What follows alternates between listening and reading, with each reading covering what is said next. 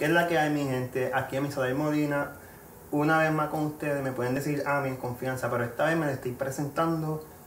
Y sí, soy yo el que les está enseñando esos tutoriales ya que les he subido anteriormente a este, por aquí. So, lo que vamos a estar haciendo hoy es cómo exportar, ¿sabes? Cómo, cómo guardar ese preset que, que tú creas y estás horas, días creando un preset y cómo aplicárselo a otras imágenes. Eso es súper fácil y yo les voy a estar enseñando hoy cómo hacerlo. So, vamos allá. Bueno, ya estando aquí en el panel, so, lo que vamos a hacer ahora es, vamos a abrir Lightroom Classic. Todo va a ser en Lightroom Classic, no en el móvil. Vamos a ponerlo aquí para ver, para ver el before and after. Vamos a ponerle un preset, vamos a ponerle este preset. Lo que vamos a hacer ahora es lo siguiente. Vamos a ajustarlo más o menos. Creo que esto sea bastante rápido. No voy a tanto detalle. Lo que vamos a hacer es que lo ajustamos rapidito ahí. Vamos a agregar un, momento en las curvas para eliminar estos negros. Todas esas áreas azules vamos a eliminarlas ahora. Un poquito nada más. Ya, como ven, ya no están esas áreas quemadas. So, vamos a mover un poquito aquí, vamos a ponerle un poquito más de azul, vamos a ver con los azules. Y ahí están viendo el before and after, o sea, se ve la diferencia. Y yo creo que se queda así medio quemado, los blancos un poquito quemados.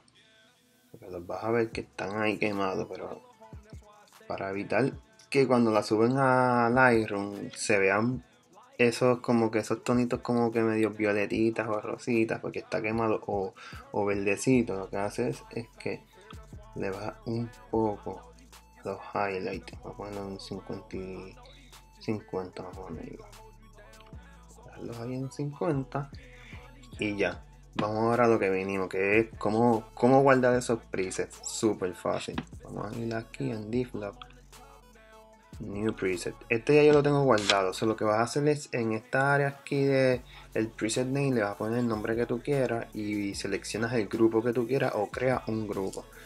Y le das en, le vas a dar a create. Pero como ya lo tengo, so, vamos a buscarlo otra vez. Y vamos a seleccionar otra foto. Vamos a seleccionar esta foto para ponerle el preset que ya creaste. Obviamente ya yo tengo el mío creado, solo que que lo busco. Aquí. Y lo ajusto más o menos como yo quiera. Darle más o menos parecido a aquí.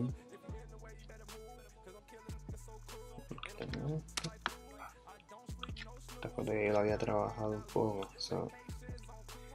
Ahí, creo que vamos a ponerle un poquitito más de amarillo para llevarlo más o menos como la otra. Vamos a trabajar aquí las curvas un poco. Vamos a bajarle los highlights a 50. Y obviamente estos presets trabajan, el preset que tú crees depende del área. O sea, si hay sol, nublado, es de noche, todo el preset siempre va a cambiar. vamos a azules. Un poco aquí poquitito aquí. Y ya ahí está.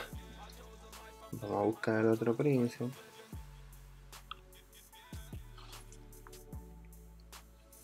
Y ya mi gente. Fácil y sencillo. Creo que en este hay que ponerle un poquitito más highlight. No, maybe no se le highlight, sea aquí después. Ahí estamos. Súper fácil. Vamos a darle un poquito para atrás otra vez. Ya saben, para guardarlo, dislo, New Preset. Ponen el nombre, crean un grupo o seleccionan el grupo que deseen y le das Create. Y luego lo vas a buscar con el nombre del grupo en este panel de la mano izquierda. Lo buscan ahí y ya. Y sí. Bueno, mi gente, esto es todo el episodio número 4 de cómo guardar tu preset en Lightroom CC.